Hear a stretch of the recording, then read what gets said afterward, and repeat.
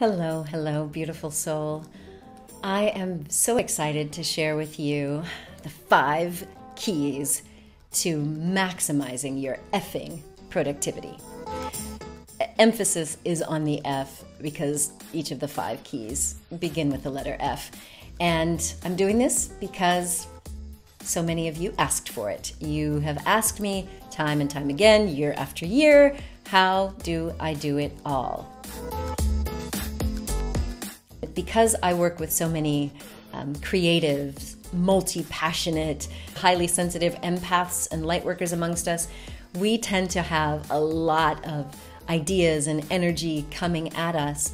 And for some of us, it's really hard to get into that sweet spot of productivity. And I have mastered that. Um, it took a lot of trial and error, but what I want to share with you are the five F's to maximizing your productivity. And beyond productivity, this is going to maximize your sense of fulfillment. Because for me, I found out that that was much more important than just getting stuff done or knocking things off of a to do list.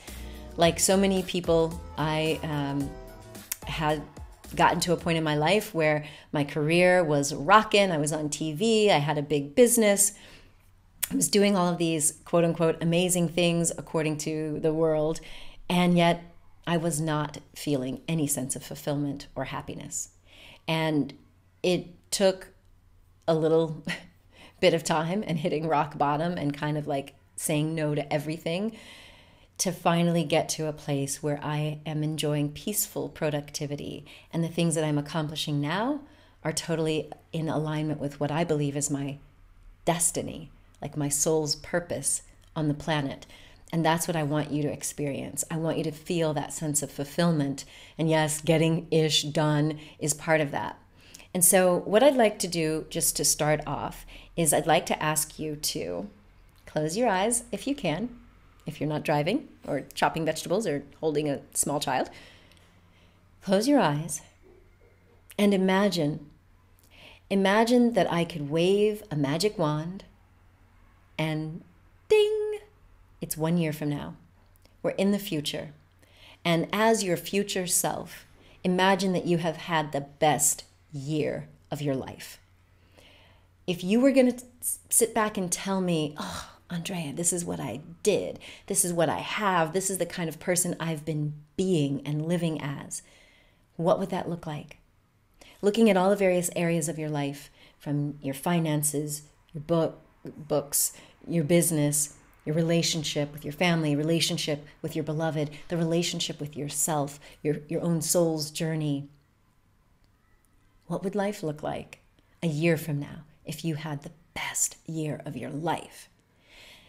Now, the first F of maximizing your effing productivity is focus. And I don't want you focused on anybody else's goals. I didn't say nothing about resolutions because resolutions just mean you've been coerced or you've finally resolved to do something. Uh uh-uh. uh I want you to be focused on a vision of you living at your best and in alignment with your values. Like, what do you value in life? What really is important to you? Because if you really wanted to have a life of fulfillment, it has to mean that you're living and utilizing your skills to the best of your ability in a way that's meaningful to you. And that means it's in alignment with your values. Do you value freedom? Do you value creativity? Do you value justice? Do you value beauty? Whatever those values are, for me, it's integrity, authenticity, it is creativity and freedom. As long as you're making sure that any of the objectives or goals that you set for yourself are in alignment with this ultimate vision, you're going to be setting yourself up to live a life of fulfillment, not achieving some goals just because somebody else said they were worthwhile. So, what do you value? If you were living at your best and we were celebrating one year from now, what would that look like? What would it feel like? Because that is the focus I want you to keep. We're focused on that vision. You expressing your strengths, talents, and abilities in alignment with your values so that you feel fulfilled, or whatever other feelings that you've, you've listed feeling joy, creativity, abundance, vitality.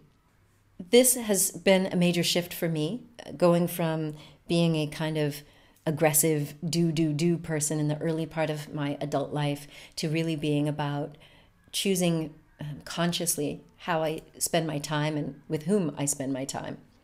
And so, um, one of the first things that you can do to start to see what underlies your motivation is to do a review.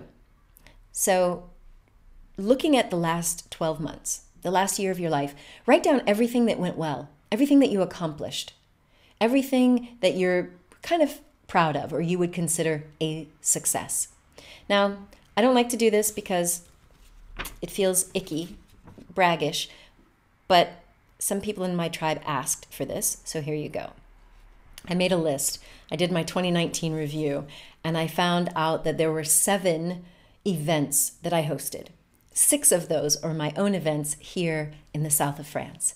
And one of them was at 1440 with my dear friend Karina Virginia in California. So I did seven events. Um, I traveled 13 times um, to various countries um, the UK two or three times, um, Denmark two times, the USA two or three times, um, Iceland twice, and Dubai. That was my exotic trip of the year. Not that um, Iceland used to be my number one exotic place, but now I go there every year, so love you. But yeah. Anyway, and I also went to the Netherlands and Spain. So did all of those trips. I um, presented in Monte Carlo in French, um, a whole thing on conscious relationships, and um, also got to enjoy some plant medicine ceremonies, looking at psychedelics and how they release trauma. I got trained in neurofeedback. Um, it's just like so many things. And again, I'm not even going to tell you all of it um, appeared on multiple stages. Didn't even count those up on all the other people's stages. Started with some amazing new um, global luminaries in my academy. Um, and uh, one, two, three, four, five, six, seven months out of the year, I went up to my Buddhist retreat center here in France, up in the mountains. And out of all of those things, you're going to write down the things that you consider a success whatever those things are, write down the things that you actually accomplished. Maybe you saved a thousand bucks. You launched a, a, new website. Maybe you did finally get your book done. Maybe you landed five new clients. Whatever it is, you spent more time with your beloved. You know, you improved your relationship with your kids. Write down the things that you consider to be a success. And then, next to them, write down how. How and why did that work? How did you make that happen? because we've got to get to understand what are the secrets to your success. For many of us, we just kind of like muster up the courage to like get stuff done in a reactionary kind of way, like, oh, this just has to get done. But what would life look like if you were to be in a little more of a peaceful flow, being in that flow state instead of reactionary adrenaline, get stuff done, and then you feel depleted? What if you were able to work with a state of flow and fulfillment and actually feel good and then rest like I did, going up to the mountains and having my, my spiritual retreats to refill and refuel? Well, that didn't happen by accident. It happened by me consciously understanding what were my secrets to success. So you're going to write down what are the lessons that you've learned from the things that you did well.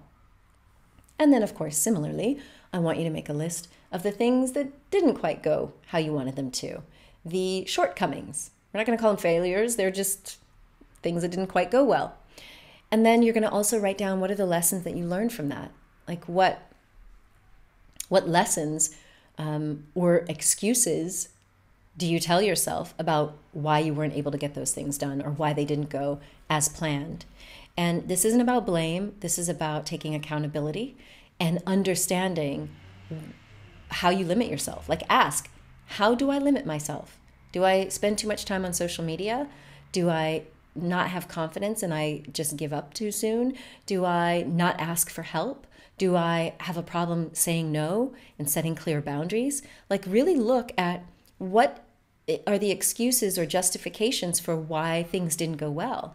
so that you can start to understand how you limit yourself and then learn the effing lesson. Learn the lesson. because in this new year, abundance and resilience are like my keywords for this year. And so the only way that we can do that is to start really understanding what are the underlying assumptions that govern how we show up in life. In other words, if you think of life as a game, you know, in any game you play, like playing the game of chess, you know that the queen can move in certain directions and take certain moves that the knight can't, for example. That those rules of play are clear and you kind of know if you needed to go look up the rules, you could. Well, what I'm asking you to do is rather than being unconscious in the way you live your life, is bringing more awareness and consciousness in so that you can say, well, what are, what are the underlying assumptions and paradigms for how I'm showing up? So that you can check the ones that don't fit anymore or that are limiting you and change them. And, and what we're getting at is something that we call a paradigm. The paradigm for how you show up in life is, is what includes your mindset and the assumptions that you make about yourself, about what's possible in the world, about other people. Um, and all of those assumptions and the mindset and that paradigm and those excuses, all of that is what drives your behavior. All of that's what dr- drives your um, actions and your attitude all of those underlying assumptions are what drive your speech, what you say, including the self talk, your whole vocabulary. You know, so how you be and do and show up in the world is governed by the underlying paradigm. And so there's a, I'll give you a link if you'd like to create your own empowerment mantra. Um, we call it a personal success mantra, where you go through an exercise um, step by step to arrive at what are those paradigms. Um, and of course, if you'd like to see a longer version of this, I hosted a two and a half hour workshop taking you through the 10 questions of a system called Best Year Yet that leads you into Diamond Life Design and leads you into looking at the past year, what didn't work and what did work, and, and creating your major focus. Thank you.